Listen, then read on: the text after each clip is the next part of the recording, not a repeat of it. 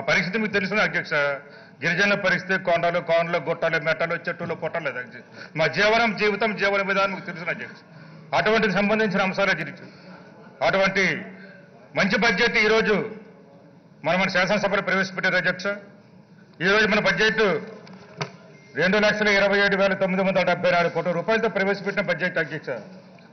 అయితే ఈ బడ్జెట్ గురించి మాట్లాడే ముందు కూడా ఒక్క- ఒక్క నిమిషం అధ్యక్ష లేదు.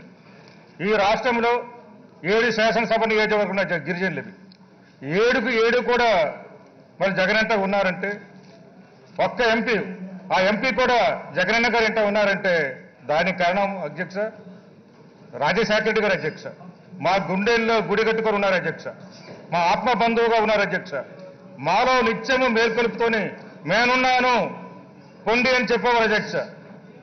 గౌరవ ముఖ్యమంత్రిగా రాజశేఖర రెడ్డి కూడా ఏం పలితే అందరూ ప్రపంచమంతా రాజన్న పిలిస్తే నన్ను చూసి రాజన్న మనవారు బాగున్నారు అని అడిగేవారు అధ్యక్ష. అంతకంటే ఆప్యాయత అంతకంటే ప్రేమ అంతకంటే అనురాగం ఏమి కావాలి అధ్యక్ష? అదే అనురాగం అదే ప్రేమ. మరి మా నాయకుడు జగన్మోహన్ రెడ్డి చూసుకుంటున్నాం అధ్యక్ష.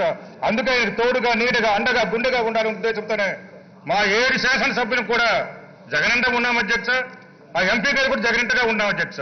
మరి అటువంటి శాసనసభలు మరి మాకు అండగా నిలిచిన నాయకులు అటువంటి వారి కోసం అటువంటి గిరిజన కోసం ఈ బడ్జెట్లో నాలుగు వేల తొమ్మిది వందల ఎనభై ఎనిమిది పాయింట్ యాభై రెండు కోట్లు మా ఉప ప్రణాళిక ప్రవేశపెట్టారు అధ్యక్ష అంటే సుమారు ఐదు వేల కోట్ల రూపాయలు. మేము ధన్యవాదాలు చెప్పాలి కదా అధ్యక్ష ఇటువంటి మంచి ఉప ప్రణాళిక పెట్టినందుకు మా కోసం ఇంత ఐదు వేల కోట్ల రూపాయలు మంజూరు చేసినందుకు అందుకే గౌరవ ముఖ్యమంత్రి గారికి బడ్జెట్ ప్రవేశపెట్టిన గౌరవ ఆర్థిక శాఖ మంత్రి గారికి కూడా మా గిరిజన తరఫున నేను పేరు పేరున హృదయపూర్వక ధన్యవాదాలు తెలియజేసుకుంటున్నా అధ్యక్ష అంతేకాకుండా అధ్యక్ష ఈ రోజు పెట్టిన ఐదు వేల కోట్ల రూపాయలు కూడా గతంతో పోలీస్ అధ్యక్ష ఎనిమిది వందల పదకొండు కోట్ల రూపాయలు సార్. ఎక్కువగా ఉంది అధ్యక్ష అంటే గతంతో పోలిస్తే పంతొమ్మిది పాయింట్ నాలుగు నాలుగు శాతం అధికం అధ్యక్ష అంటే గిరిజనులంటే అభిమానం గిరిజనులంటే ప్రేమ. మేమున్నాను అని ఒక భరోసా. అటువంటి బడ్జెట్ ప్రవేశపెట్టారు అధ్యక్ష మీకు ఇప్పుడే చెప్పాను అధ్యక్ష మా జీవనం మా జీవితం జీవన విధానం మా మనుగడ మా పరిస్థితులు చదువు లేకపోవడం నిరక్షరతనం అంటే అనగారితనం.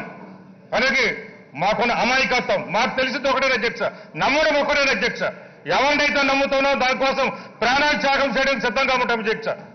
అటువంటి నాయకుడు రాజశేఖర రెడ్డి గారు బిడ్డ జగన్మోహన్ రెడ్డి గారు ఆయన మేము నమ్ముకున్నాం అధ్యక్ష. మా నమ్మకాన్ని ఒమ్ము చేయకుండా మంచి బడ్జెట్ ప్రవేశపెట్టారు కాబట్టి ఈ మంచి బడ్జెట్ ద్వారా మా గిరిజన ప్రాంతాలు ఉన్న గూడేలు ప్రాంతాలు అలాగే గిరిజనుల మెట్టలు గుట్టలన్నీ కూడా రోడ్లు వేయించి తాగునీరు ఇచ్చి విద్యుత్ కల్పించి అదేవిధంగా వైద్యం ఆరోగ్యం అన్ని సౌకర్యాలు కల్పించాలని ఈ ఈ బడ్జెట్ ద్వారా నెరవేరుస్తుందని నేను భావిస్తున్నాను అధ్యక్ష. తప్పకుండా ఈ బడ్జెట్ను తెలుగుదేశం ప్రభుత్వంలో కాకుండా గతంలో చేస్తుంటే కాకుండా ఈ బడ్జెట్ ఉన్నతున్నట్టుగా మాకు అమలు చేత నమ్మకం ఉంది అధ్యక్ష? ఎందుకంటే గతంలో మనం చూసాం అధ్యక్ష ఎన్నో ప్రణాళికలు పెట్టారు మనం. రెండు వేల పద్నాలుగు నుంచి పదిహేను వరకు చూసేటప్పుడు. కానీ ఒక్కటి కూడా అమలు జరగలేదు అధ్యక్ష. ఏది కూడా నూటికి నూరు శాతం కానీ నూట డెబ్బై ఎనిమిది శాతం కూడా జరగలేదు అధ్యక్ష. బడ్జెట్ కేటాయింపుడు ఒకరికి ఉండే అధ్యక్ష. రిలీజ్ ఒకరికి ఉండేది అధ్యక్ష. వచ్చేసరికి ఖర్చు ఒకరికి ఉండేది అధ్యక్ష. ఆ చేసిన ఖర్చులు కూడా ఎక్కడికి పోతున్నావు? ఇటు దారి వెళ్ళిపోతున్నా తెలియని పరిస్థితి అధ్యక్ష. ఇటువంటి పరిస్థితులు మంచి బడ్జెట్ అధ్యక్ష. అందుకే ఈ బడ్జెట్ అందరూ కూడా గిరిజనులందరం కూడా మేము మనస్ఫూర్తిగా ఆమోదిస్తున్నాం అది బడ్జెట్ను పూర్తిగా ఉన్నది ఉన్నట్టుగా గౌరవ ఆర్థిక శాఖ మంత్రి గారు గిరిజన శాఖ మంత్రి గారు అమలు చేయాలని కూడా నేను మనస్ఫూర్తిగా కోరుకుంటున్నా అధ్యక్ష అంతేకాకుండా అధ్యక్ష మా ఈ బడ్జెట్తో అనుబంధంగా నవరత్నాల పథకాలు అధ్యక్ష ఈ బడ్జెట్ ఏదైతే ఐదు వేల కోట్లు ఉందో దానికి అనుబంధంగా నవరత్నాల పథకాలు ఉన్నావు. ఈ నవరత్నాల పథకాల ద్వారా వచ్చే అన్ని లబ్ధి కూడా అన్ని పథకాల ద్వారా కూడా గిరిజనులకు మేలు జరుగుతుందా దీక్ష గిరిజనులకు మంచి జరుగుతుందా అధ్యక్ష ఈ గిరిజనులకు మంచి జరుగుతుంది కాబట్టి ఇది సామాన్యుల బడ్జెట్ అంటే అధ్యక్ష? ఇది పూర్తిగా ప్రజాస్వామ్య బడ్జెట్ అధ్యక్ష. అక్షరాలు రాకపోయినా తమ ఇంట్లో కూర్చొని తమ బడ్జెట్ గురించి ప్రజలు నేర్చుకునే బడ్జెట్ చెప్పి ఎందుకంటే ఒక ఆదాయం చూస్తున్నది అధ్యక్ష. ఆ కుటుంబానికి ఏం ఆదాయం వస్తున్నది అనే దానికన్నా నవరత్నాలు పథకం నుంచి మన కుటుంబానికి ఏ విధంగా లబ్ధి వస్తుంది? మన కుటుంబంకి వచ్చే ఆదాయం ఏమిటి? ఖర్చు ఎంత? ఇవి తీసే ఎంత మిగులుతుందంటే తప్పకుండా నవరత్న పథకం ద్వారా. అనేక లబ్ధి ఆర్థికంగా మిగులుతుంది అధ్యక్ష సేవల ద్వారా మిగులుతుంది అధ్యక్ష అంటే గిరిజనులకైతేనేమి గిరిజన రైతులకైతేనేమి అన్ని సామాజిక వర్గాలకి న్యాయం చేసే మంచి బడ్జెట్ అధ్యక్ష ఇది. కార్మికులకు కర్షకులకు రైతులకు ఉద్యోగులకు నిరుద్యోగులకు మహిళలకు అందరికీ మేలు చేసే గొప్ప బడ్జెట్ అధ్యక్ష. గతంలో నేను నాలుగోసారి ఎమ్మెల్యే అధ్యక్ష నేను.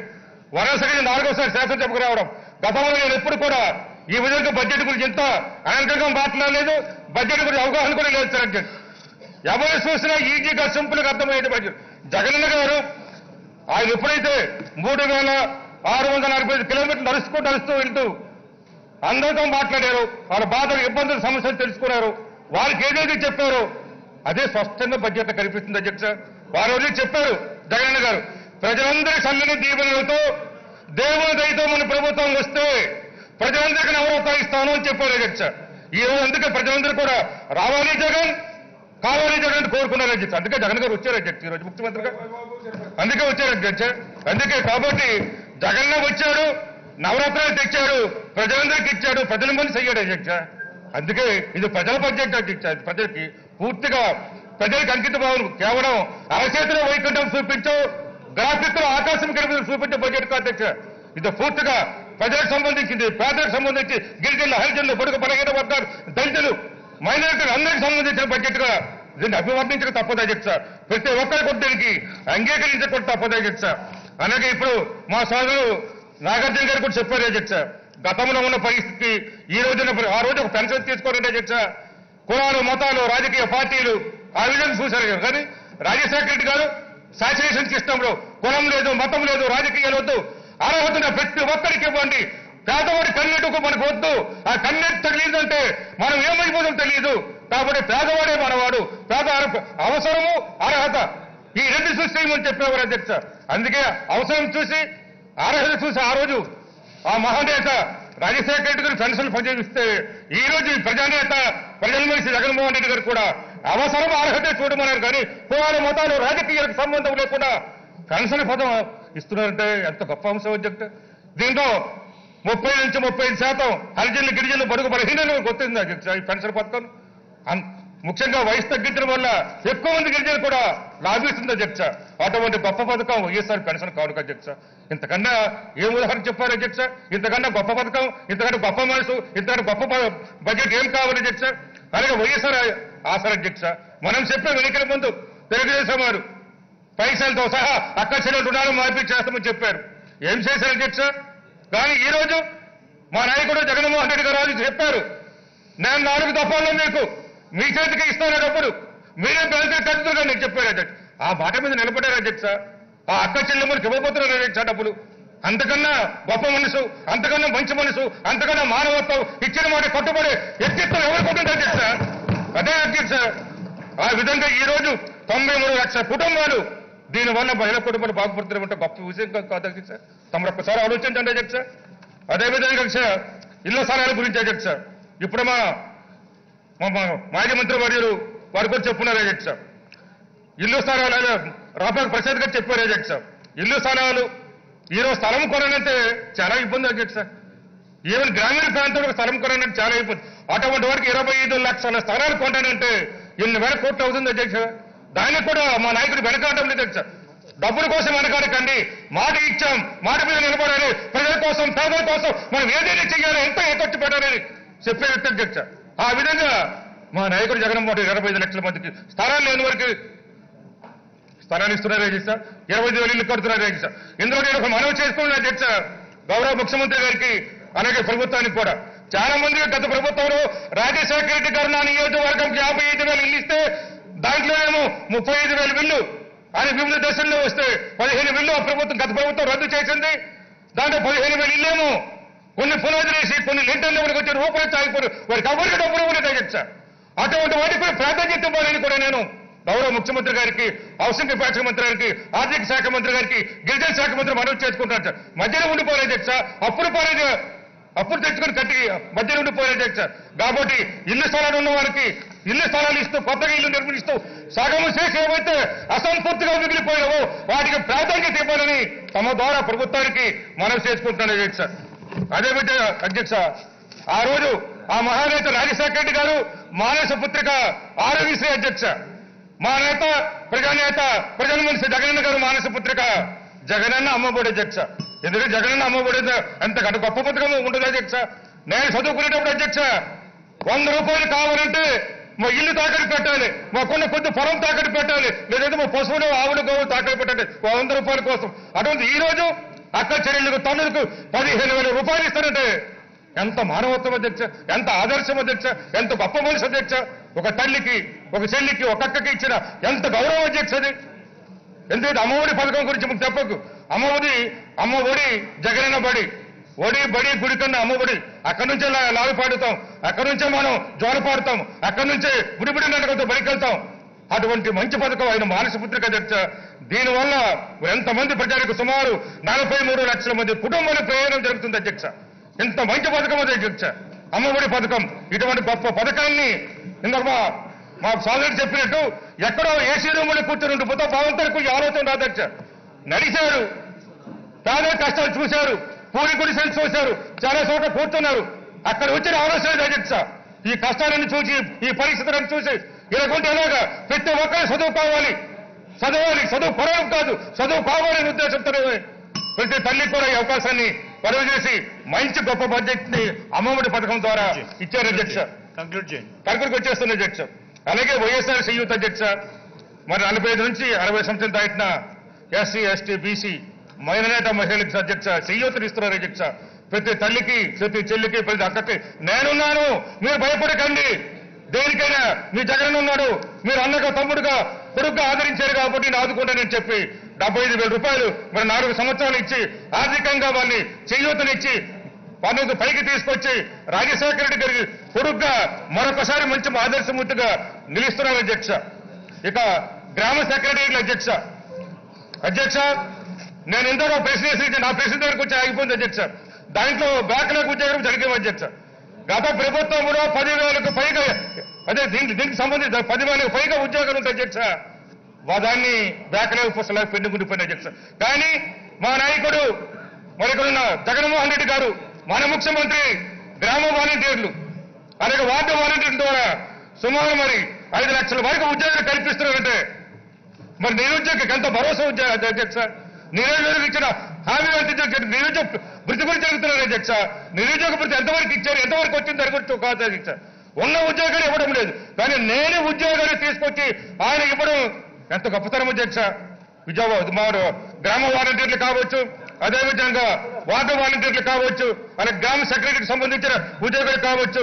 ఈ విధంగా మరి మా అందరికీ హరిజన గిరిజన సొసైటీతోనే లక్షా ముప్పై ఐదు వేల మందికి ఉద్యోగాలు చా- అవకాశం దొరుకుతుంది అధ్యక్ష ఇంత మంచి కార్యక్రమం చేపట్టారు అధ్యక్ష ఇక రైతు భరోసా గురించి చెప్పక్కర్లేదు అధ్యక్ష అక్టోబర్ మే నెలలో వచ్చే నెల మే నెలలో అనుకునేది ముందుకు తీసుకొచ్చి ఈ అక్టోబర్ నుంచే పన్నెండు వేల ఐదు వందల రూపాయలు ప్రతి రైతుకి ఇస్తారని ముందుకు వచ్చిన ప్రభుత్వాన్ని ఆర్థిక వనరుల గురించి కూడా చూడకుండా రైతు కోసం ఆలోచించి అన్నం పెట్టే రైతు కోసం ముందుకు వచ్చిన గొప్ప ప్రభుత్వం ఇది అధ్యక్ష అలాగే మంచి ఆలోచనతో ఈ బడ్జెట్ చేశారు అధ్యక్ష అదేవిధంగా అధ్యక్ష స్థానిక ఉద్యోగాలు అధ్యక్ష స్థానిక ఉద్యోగాల్లో కూడా ప్రాధాన్యత ఇస్తామని చెప్పారు అధ్యక్ష స్థానికంగా చిన్న చిన్న పరిశ్రమలు ఉంటాయి కాబట్టి అక్కడ స్థానిక ఎవరు ఉన్నారు. అక్కడ హరిజనులు కావచ్చు గిరిజనులు కావచ్చు బడుగు బలహీన వర్గాలు కావచ్చు. డెబ్బై ఐదు శాతం రిజర్వేషన్ కనిపిస్తామంటే మనటువంటి ఆయన కృతజ్ఞత చెప్పారు కదా. ఇంత మంచి అవకాశాలు కలుగు చేసినది. అలాగే ఇక గిరిజనులకు అధ్యక్ష రెండు వందల యూనిట్ల వరకు విద్యుత్ ఉచితం. గిరిపుత్రిక కళ్యాణం లక్ష రూపాయలు అధ్యక్ష అలాగే జగన్న మరి విద్యా ఉన్నతి జగన్న విద్యా దీవెన పథకం.